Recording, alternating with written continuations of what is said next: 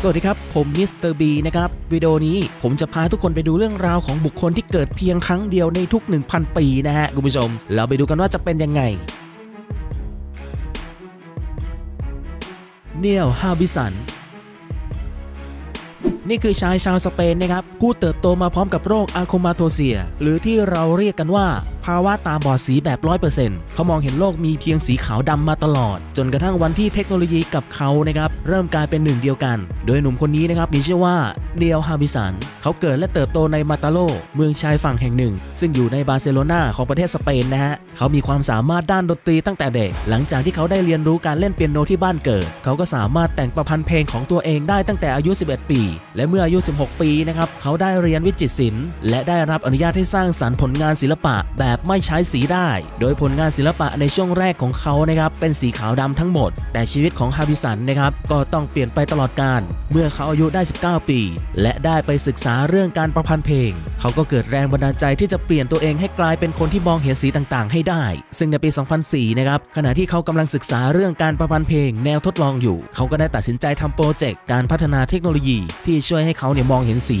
และมอบประสบการณ์การมองเห็นที่ไม่เคยมีมนุษย์คนไหน เคยสัมผัสมาก่อน โดยเขาได้ร่วมมือกับอดัมมอนแคนดอนนักวิทยาศาสตร์คอมพิวเตอร์ เพื่อสร้างอุปกรณ์ที่มีชื่อว่า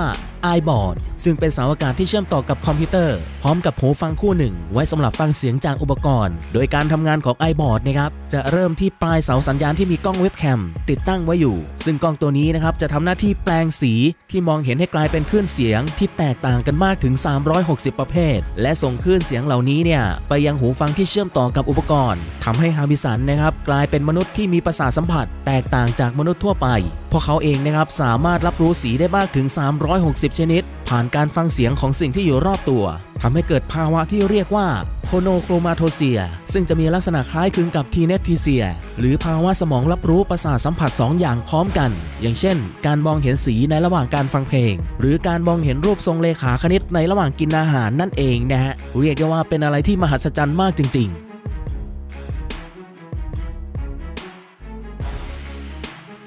มีเขางอกออกมาจากหน้าผาก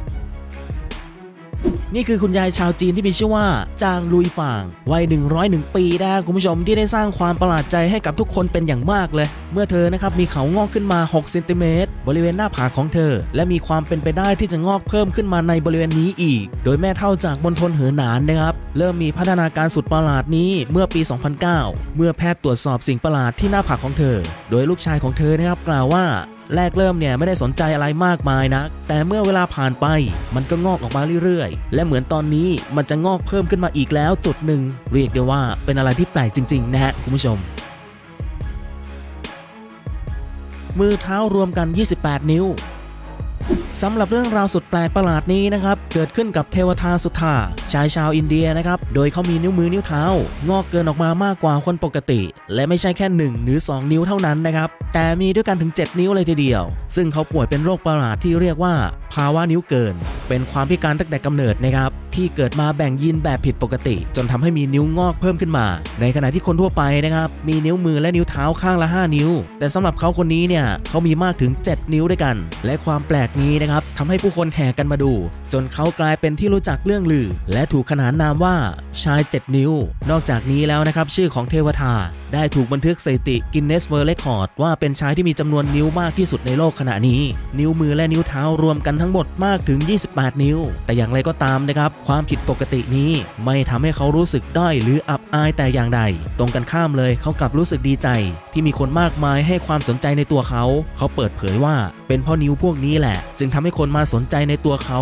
ราวกับว่าเป็นคนดังทำให้เขารู้สึกว่าพิเศษ และคิดว่าตัวเองโชคดี เพราะสิ่งเหล่านี้ไม่สามารถประเมินค่าเป็นราคาได้ ทั้งนี้นะครับด้วยความที่เขาเนี่ยมีอาชีพเป็นช่างไม้ เขาก็ได้แต่หวังว่าตัวเองจะไม่เผลอไปตัดนิ้วนำโชคของตัวเองเข้าให้สักวัน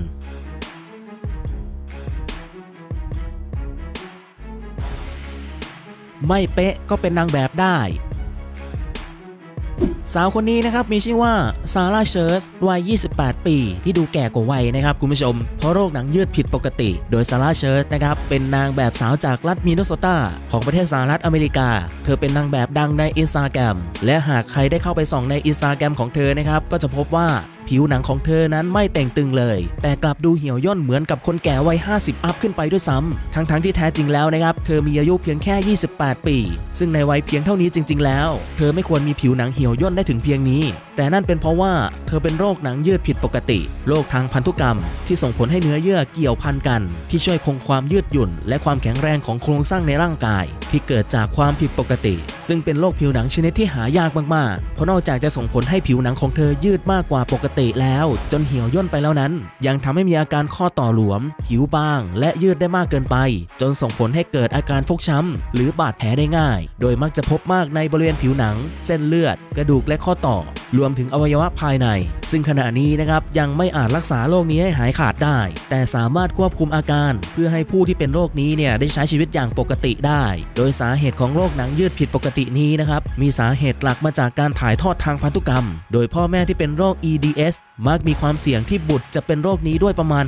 50%นอกจากนี้แล้วนะครับ อาจจะเกิดจากการกลายพันธุ์ของยีนบางชนิดทำให้การสร้างคอลลาเจน ที่มีหน้าที่เสริมความแข็งแรง และความยืดหยุ่นของกระดูก ผิวหนัง และอวัยวะต่างๆ นะฮะ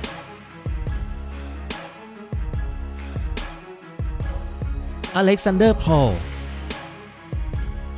นี่คือผู้ชายที่ติดเชื้อโปลิโอนะครับและต้องใช้ชีวิตอยู่ในปอดเหล็กเกือบชั่วทั้งชีวิต ซึ่งในช่วงก่อนที่วงการแพทย์จะมีการสร้างวัคซีนป้องกันโรคขึ้นมานั้นนะครับมีโรคระบาดชนิดหนึ่งที่เกิดขึ้นในสหรัฐอเมริกา ซึ่งโรคที่ว่านี้นะครับทำให้เด็กๆ หลายคนในเวลานั้น ต้องติดเชื้อและทุกทนทรมานจากการติดเชื้อโรคเข้าไปทำลาย ในส่วนของกล้ามเนื้อ รวมถึงเนื้อเยื่อส่วนต่างๆ ในร่างกาย โดยเชื้อโรคที่ว่านี้นะครับชื่อว่าเชื้อโรคโปลิโอ โรคโปลิโอ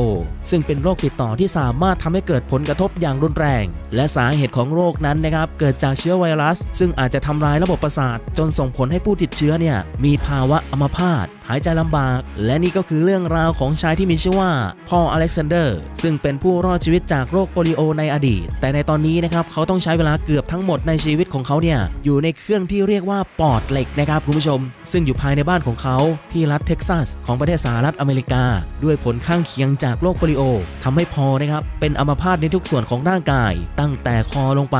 รวมถึงมันยังทำลายระบบการหายใจด้วย และด้วยเหตุนี้เองนะครับทำให้เขาเนี่ยต้องใช้ชีวิตอยู่ในเจ้าปอดเหล็กมาตั้งแต่เด็ก ซึ่งสำหรับปอดเหล็กนี้นะครับเป็นเครื่องช่วยหายใจชนิดใช้แรงขับดัน ที่จะใช้ชีวิตในการรักษาผู้ป่วยของโรคโปลิโอ ขั้นร้ายแรงเท่านั้น โดยในตอนที่พอเริ่มป่วยนะครับเขาเล่าให้ฟังว่า ในตอนที่เขาเริ่มติดเชื้อในปี